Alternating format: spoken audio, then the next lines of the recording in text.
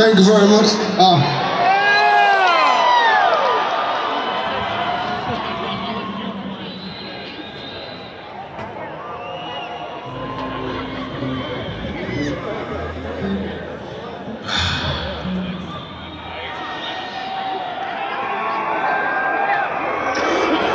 I have take my time I don't want to use up all your oxygen.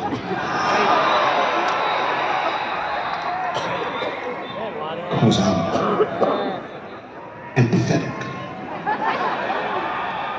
I would hate for any of you to become short of breath.